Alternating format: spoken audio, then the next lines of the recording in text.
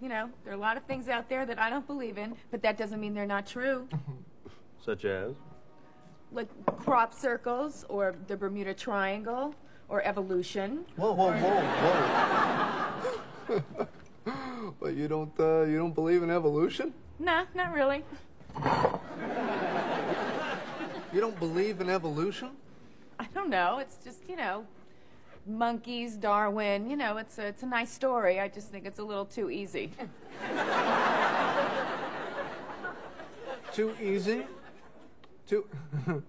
the process of every living thing on this planet evolving over millions of years from single celled organisms is, is too easy? Yeah, I just don't buy it. Uh, excuse me. Evolution is not for you to buy, Phoebe. Evolution is scientific fact, like, like, like the air we breathe, like gravity. Oh, okay. Don't get me started on gravity. You, uh, you don't believe in gravity?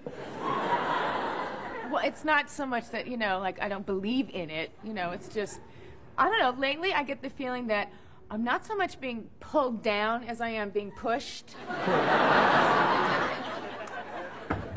Uh-oh, it's Isaac Newton and he's pissed.